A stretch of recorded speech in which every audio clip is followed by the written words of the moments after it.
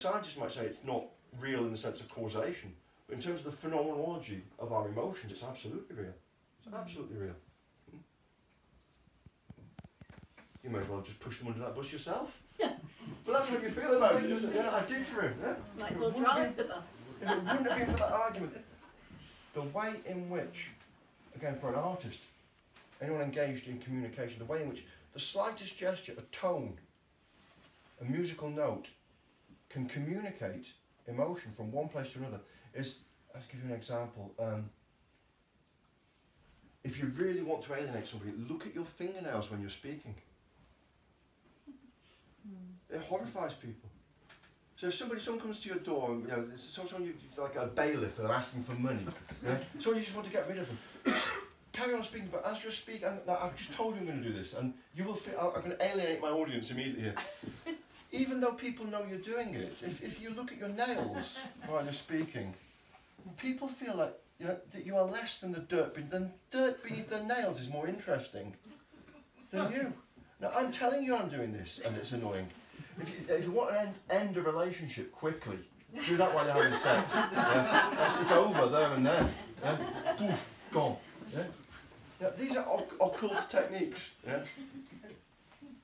But this is, this how communication Now, artists like Robert were absolutely fascinated by this sort of thing.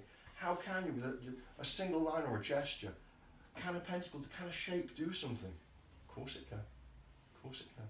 Yeah? So let's just get over the word magic.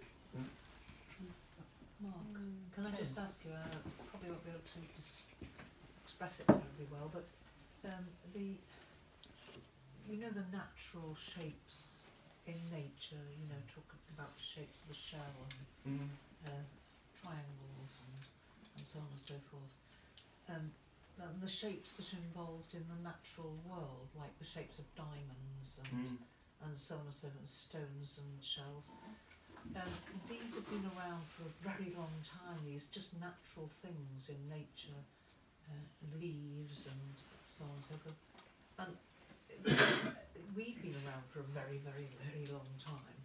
Mm. Um, and do you not feel that in some way that those those very basic things are the things that um, um, give us a feeling of harmony when we see them and a feel of, of, of, serenity almost, Mm. so that when you look at a painting or, or um, um, a representation of of whatever man-made representation, whether it be a, you know, a Gothic cathedral or a painting, um, it it gives us that uh, serene sort of feeling in our mind. Um, because we've been around them a very long time, those basic shapes, the Mm. basic shapes in nature, and so so so so long. In fact, I think that our brain has has, um, sort of evolved, um, and so that it, it receives these natural shapes, and it pleases us. I, I, I, agree. I agree. There you know, probably is going back a very a very very deep, a deep, deep, deep on a biological very history very to this. deep yeah. level. Uh, I remember a biological philosopher, philosopher. It wasn't Rupert Sheldrake. It was a philosopher of biology talking about this in terms of evolutionary biology. And I was half convinced by this that because we are essentially very closely related to fruitivorous apes, you know, the orangs, the chimps, the gorillas, so on and so forth. Yeah. We can argue about you know It pleased them the, the, the, the details of how we're related, but we're clearly more related than, than we are to jellyfish or or starfish or whatever. Um, that one of the things which would have been most important for us in, in, in the long, dark, nasty years growing up before we developed electricity and cookers and kebab shops and so on and so forth, is that knowing when things are ripe. And so a sense of colour, colour vision would be incredible over periods of millions of years. Colour vision becomes incredibly important for us.